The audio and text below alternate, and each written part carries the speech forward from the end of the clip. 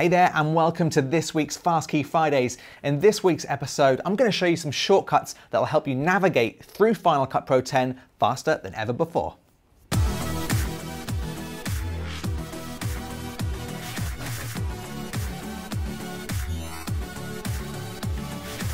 Okay, so your timeline should be building up nicely now, especially if you've been watching Fast Key Fridays from the start. And if you haven't and you want to see the entire series, just click up here in the corner or check out the link in the description below.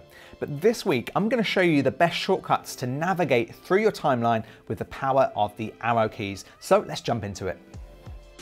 So using the left or right arrow takes you through your timeline frame by frame. Now this is perfect if you need to find the exact point in your timeline, such as say this point here where the guy shuts the barbecue lid. So if we needed to do an edit at that point, the left and right arrows will get you there perfectly. Now if you want to jump through your timeline much faster, hold down shift while pressing the left and right arrows and you will now skip through 10 frames at a time. Now what if you've edited your sequence but you want to start tightening up your edit point to ensure everything is looking slick? Using the up and down arrows will help you jump between the previous and next edit. So if we do that now you can see the playhead now jumping to each edit point within the timeline. Okay, so you're happy with that, but how about if you want to jump even further, like going to the start or end of your timeline? Well, simply pressing the home or the end button will make you jump to the start or the end of your timeline.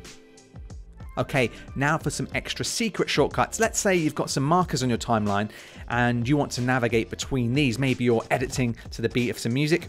Well, you can do that simply by holding down the control button and the semicolon button or if you want to go forward, you can press your quotation button, which is also the previous and next edit on your editor's key shortcut keyboard.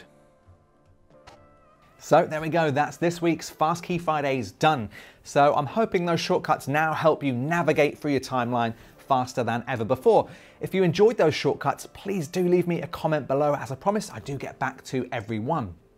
Now, next week's episode is all about ways to put effects, video effects, transitions super fast onto your sequence and your timeline really, really quickly. So if you wanna see that, make sure you subscribe to the channel and I'll see you next Friday.